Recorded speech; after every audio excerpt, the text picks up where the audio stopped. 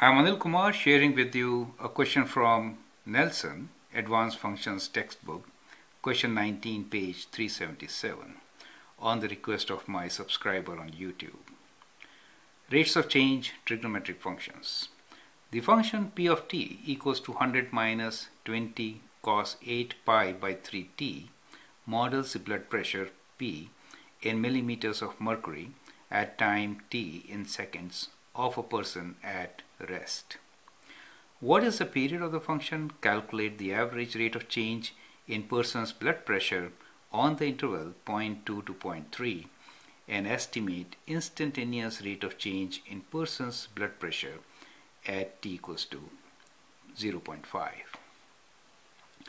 Now to find the period of the function, let's look into the function itself and the k value, which is cos 8 pi by 3. So from here we know k is equals to 8 pi by 3. Time period t is 2 pi by k. So time period t is equals to 2 pi divided by 8 pi by 3. That gives you pi and pi cancels then you get 3 over 4 and the units are seconds right? So you get time period is equal to 3 by 4 seconds. Now this is part B and then we have part C here.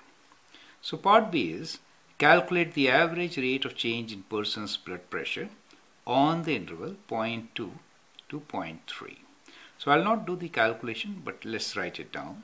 So basically, we will be calculating P of 0.3 minus P of 0.2 divided by 0.3 minus 0.2.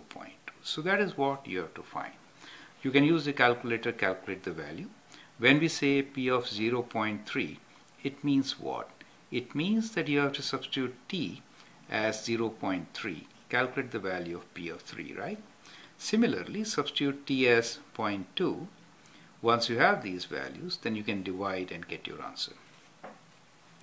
The part C is estimate the instantaneous rate of change in person's blood pressure at t equals to 0.5. Now, for such a question, you can use centered value. So in that case, what we can do is that we can find P of a point which is 0.01 to the right, let's say 0.501 minus P of 0.499, right? So then we have a centered value divided by 0.501 minus 0.499. So that should give you the answer for this particular question, correct? As an additional exercise, what you should also do is graph this function, right? And I would like you to find out a point on this graph, rather two points, where you should be expecting maximum instantaneous rate of change, right? So let me add that part here. So part D will be find T for maximum instantaneous rate of change, right? So to give you a hint on that part, I'll kind of sketch the function and show you. Since this is a cosine function starting with negative, our function is going to be something like this, right?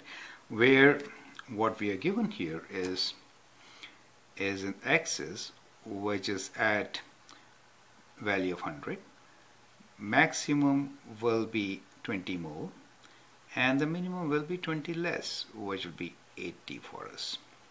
So time period is as we calculate 3 by 4 of a second. So let us say this is somewhere here t equals to 0 then this will be t equals to 3 fourth of a second correct? So we can divide 3 by 4 and get our answer which is 3 divided by 4 is in decimals 0.75 so 0.75 seconds right so this will be half of 3 by 4 it's good to work with fractions actually. So this is 3 by 8 of a second, right? So half of, let's say slightly more than 0.3, right? Slightly more than 0.3. Right, so maximum instantaneous rate of change will actually be at these points. As you see the concavity changes, do you see? Since the concavity changes at these points, it is like of concave up on this side and concave down on this side, we have kind of a vertical tangent giving rise to a very high instantaneous rate. Similarly here we have a function which is coming like this and going like this. Do you see the change? So it's kind of vertical at these points. So these are the points which will give you maximum instantaneous rate of change and their value is quarter of the cycle which is the cycle is 3 over 4 so this will be 3 over quarter of this which is 16 right so first quarter second quarter third quarters will be 9 over 16 so if you find instantaneous rate of change at these points you will get high instantaneous rate of change. So 0.5 is actually close to 9 over 16 so also find instantaneous rate of change at 9 over 16 right?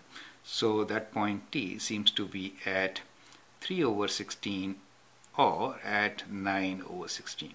Of course, one value is going to be positive, the other is going to be negative, but their absolute values will be same. So as an added exercise, I'd like you to calculate these values also to understand this function better. Now this function is been treated in almost every chapter of trigonometric functions. So from examination point of view also, it is a very important function for you to analyze. Thank you and all the best.